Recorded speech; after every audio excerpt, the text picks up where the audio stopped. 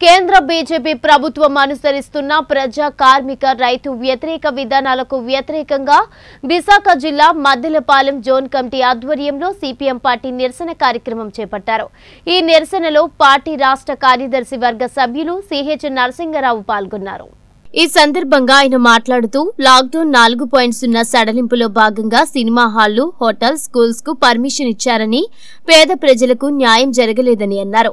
Private ఉద్యోగులకు ఉద్యోగ భద్రత కల్పించాలని కోరారు. కేంద్ర బీజేపీ ప్రభుత్వం ఘోరంగా వైఫల్యం చెందింది.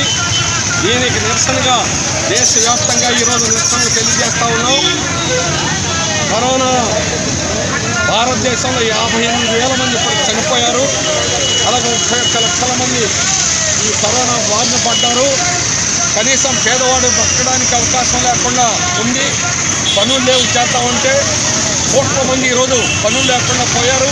పట్టణాల్లో కూడా బతుకుతా ఉంటే పట్టణాల్లో పని లేదు. బ్రతకడానికి అవకాశం లేదు. అందుకని నెలకి ఏడు వేల ఐదు వందల రూపాయలు ఇవ్వాలని కేంద్ర ప్రభుత్వాన్ని డిమాండ్ చేస్తున్నాం. కేంద్ర ప్రభుత్వం యొక్క వైఖరి వల్ల ఈరోజు నాలుగు అన్లాక్ నాలుగు అనేటువంటి ప్రకటించబోతా ఉన్నారు.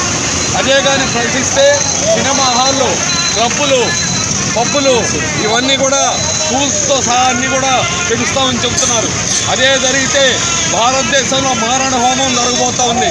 లక్షల మంది మరణిస్తారు. మనుషుల ప్రాణాలు లెక్క లేకుండా కేవలం వ్యాపారాల కోసం సినిమా వాళ్ళ కోసం హోటల్ వాళ్ళ కోసం ప్రభుత్వం లొంగిపోవడం ప్రాణాలను పణంగా పెట్టడం దేశద్రోహం తప్ప ఇంకోటి మాత్రం కాదు. ఇప్పటికైనా బీజేపీ ప్రభుత్వం తన వైఖరి మార్చుకోవాలి. పేదవాడికి నెలకి ఏడు వేల ఐదు ఇవ్వాలి? పేదవాళ్ళకి బ్రతకాల మనుషులు బ్రతికించాలా అందుకని పనులు ఈరోజు డబ్బులు ఇవ్వాలా? ప్రజలకు డబ్బులు ఇవ్వకుండా ప్రజలకు డబ్బులు ఇవ్వకుండా ప్రజల యొక్క క్యాష్ ఫ్లో అనేది లేకుండా ప్రజలు బ్రతకడం అనేటువంటి సాధ్యం కాదు. అందువల్ల ప్రజ ప్రజలను బ్రతికించాలంటే నెలకి ఏడు వేల రూపాయలు ఏడు వేల ఐదు వందలైనా ఇవ్వాలి. ఇంతవరకు కేంద్ర ప్రభుత్వం ఇరవై లక్షల కోట్లు ప్రకటించింది ఇన్ని ఇది పచ్చి మోసం. ఇందులో చేసినంత ఐదు వందల రూపాయలు నెలకి జన్ధన్ అకౌంట్. ఐదు కేజీలు మాత్రం బియ్యం ఇచ్చారు. ఐదు కేజీలు బియ్యంతో ఎవడైనా బతుకుతారా? ఐదు వందల రూపాయలు అనేది ఈరోజు ఆదాయమైనా? ఈరోజు ఆలోచించాలా? కేంద్ర ప్రభుత్వం అందువల్ల కేంద్ర ప్రభుత్వం దుర్మార్గమైన వైఖరి చచ్చినవాడు చావండి బతికినవాడు బతకండి అనే విధమైనటువంటి వైఖరితో కేంద్ర ప్రభుత్వం వ్యవహరించడం చాలా అన్యాయం దేశద్రోహం.